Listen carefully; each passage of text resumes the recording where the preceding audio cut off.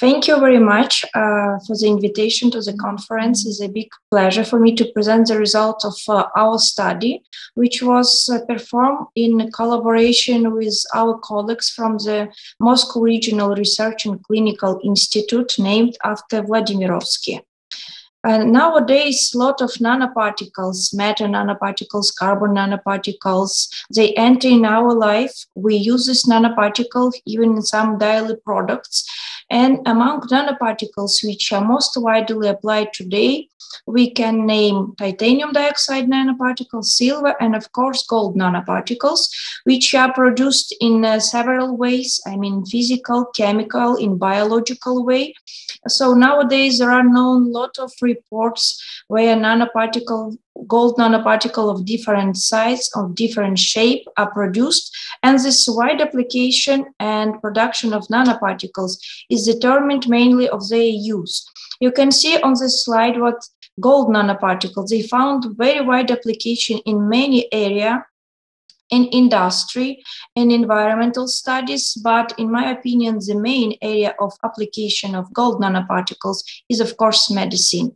There are different medical uh, purposes for which uh, gold nanoparticles are used today. So, in any case, there are many ways how we can interact with these gold nanoparticles. And here there are some statistical data on the production of gold nanoparticles in the world. You can see what starting from 2015 uh, till 2026, every year is growing the amount of gold nanoparticles produced in the world. And the first place, of course, is belong to United States in the production of nanoparticles. And there are several areas where nanoparticles are applied. As I mentioned previously, the main area of nanop- gold nanoparticles application is medicine, is followed by electronics, catalysis, and some other applications, like, for example, in cosmetics, glass production, and uh, so on. But when we speak about nanoparticles, it is very important what we can produce nanoparticle of different size, different shape, but arise the second question, how safe are these particles which are used, for example, in some daily products? Because every new compound which we can obtain, we cannot consider it like safe until we will not prove this safety. And already is well shown in many reports what a main part of nanoparticles, they are toxic. The toxicity of nanoparticles is, of course, determined of the size of these particles, the high reactivity of these particles, for example, in comparison with bulk elements. There are several ways how they can uh, influence uh, the organism. One of the way is formation of reactive uh, oxygen species and they are toxic for cells. Uh, also, nanoparticles, they can accumulate in different organs, producing different um, effects, mainly negative effects. That's why it is very important also to study the effect of nanoparticles, which you can have on the human health. Speaking about um, way how nanoparticles can penetrate in uh, human bodies, there are uh, known four uh, main ways. There are through blood, where, where tissues are without barrier. It is intestinal barrier. It is blood to brain barrier, which protects the brain from the uh, main organism, and blood placenta barrier. So, for our, it was important and interesting to study if nanoparticles are able to pass blood to brain barrier and blood placenta barrier. As I mentioned previously, there are some reports which already show what the toxic effect of nanoparticles on the adults, but um, it is a group of uh, people, namely children, where these effects are very poorly studied. And for us, it was very interesting to see if, for example, a woman which is working on some enterprise which produce, use nanoparticles, or she is using nanoparticles in daily life, and they will be accumulated in this um, woman body, how they will affect uh, the next generations. Of course, um, in our case, it was not possible to perform experiments on the um, human and we use mice like object of study. In this case, we studied the effect of gold nanoparticles. Uh, there, there were some nanoparticles which we uh, obtained from the Russian company M9. Uh, and uh, we gave this nanoparticle, this solution, the size of nanoparticles was in the range of 10 nanometers. Uh, we gave these nanoparticles to mice uh, before pregnancy, during the pregnancy, and during the lactation period.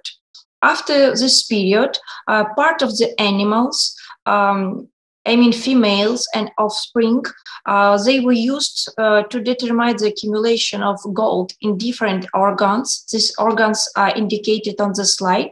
And part of the animals, they were used uh, by our colleagues for some behavioral tests just to check, uh, to test the cognitive abilities of the females who drink uh, this solution containing gold nanoparticles and the offspring, which also uh, accumulated, in which uh, organs also gold um, was accumulated.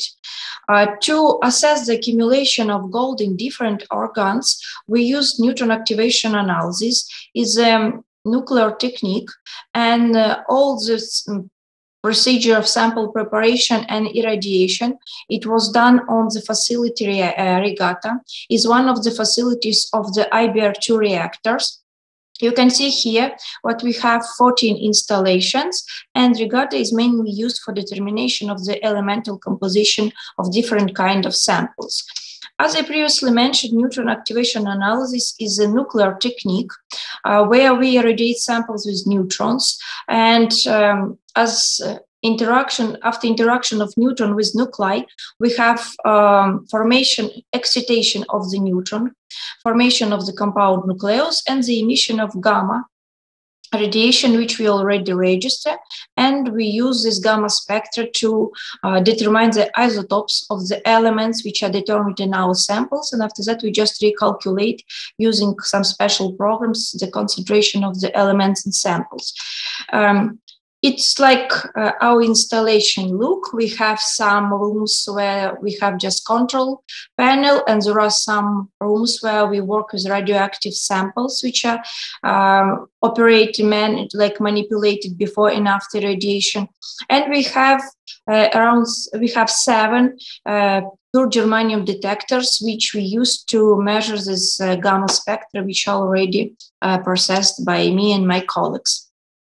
Speaking about this technique, neutron activation analysis, um, it is a technique which has some advantages like is multi-elemental technique, is not destructive. It means we not, don't need to dissolve, for example, samples like for ICP-MS and the ICP-S techniques. So we don't introduce some additional errors in element determination. Uh, is very high sensitive technique, which allows us to determine the concentration of elements in samples on the level of the ppm, in some case on the level of the ppb. And one of the main advantages, which is used mainly for biological samples, samples. It allows us to work with very, very small samples, which is not usually possible to do using some other um, analytical techniques. Of course, there are some disadvantages as well because it's uh, anal- nuclear technique. It means what uh, we need reactor in our case, we are lucky we have reactor and we can use it for this type of measurements. The second one, we obtain uh, samples after radiation. They became like radioactive waste and we need to respect some special rules of uh, storage and manipulation with this radioactive waste. But uh, the possibilities of the techniques and the advantages, I suppose, there are so high. What all these, even these two disadvantages, are not so um, significant when we speak about analysis of biological samples. Uh, so, as I previously mentioned, we uh, extracted blood, uh, liver, uh, lungs, kidney, and brain from the animals, from female and offspring, and we determined the content of gold in both in females and offspring. In our experiments, we used uh, 10 animals in each experiment. So the data which are presented on this slide for control groups and for experiments, there are some data for 10 um, animals. Speaking about blood, uh, we know what blood is like the stream, just transferring the, all these compounds to different organs. So in both in the uh, blood of the females and in the blood of the offspring, the concentration of gold was very low. You can see it was even on the level of the ppb. Uh, but in the other organs, like for example in lungs, it was already higher. This uh, higher concentration of gold in lungs can be uh, explained by the rich um, network of the blood vessel, which can contain these uh, gold nanoparticles. But since nanoparticles were very small, they also accumulated in, in uh, this organ.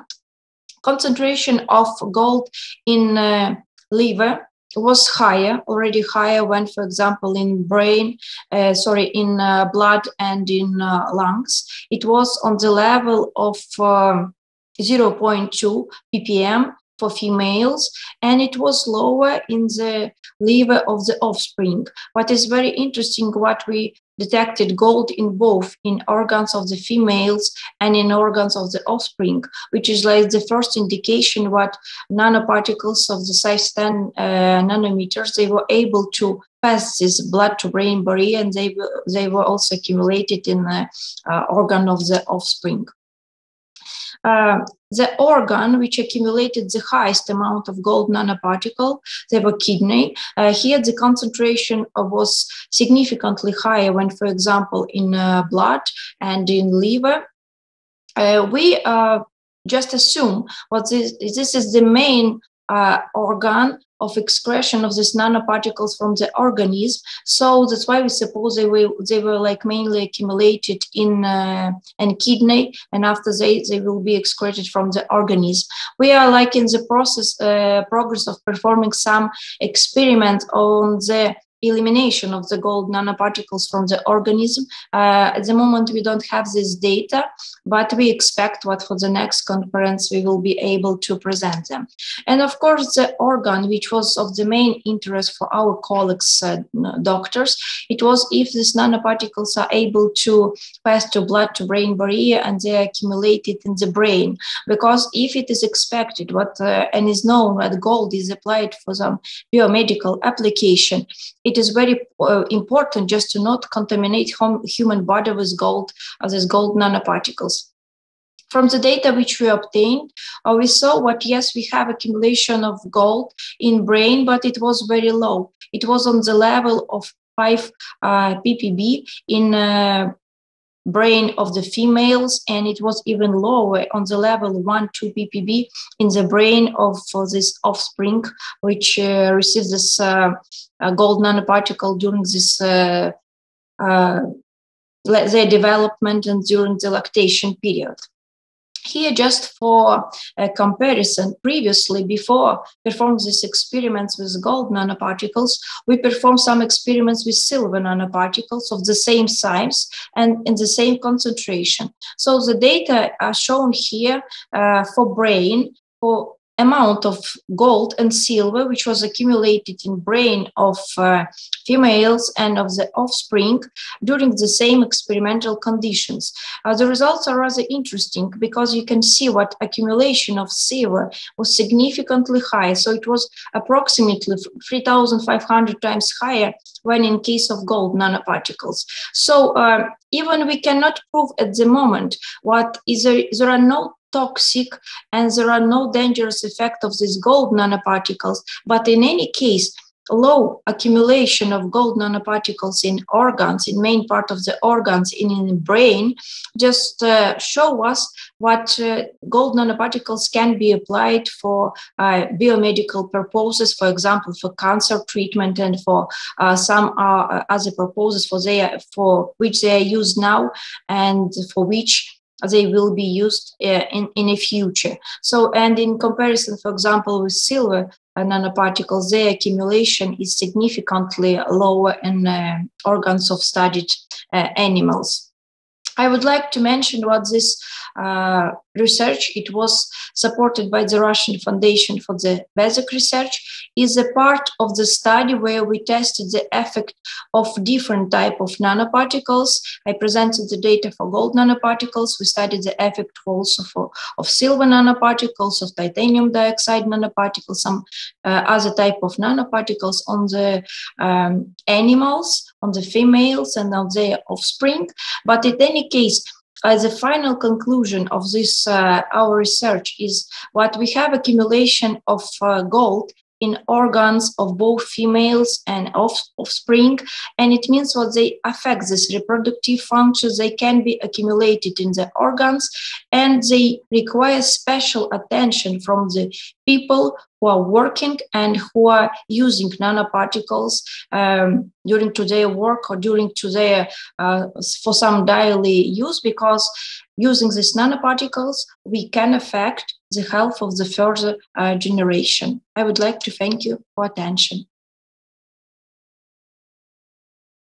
Thank you very much for your very interesting presentation. If uh, are some questions,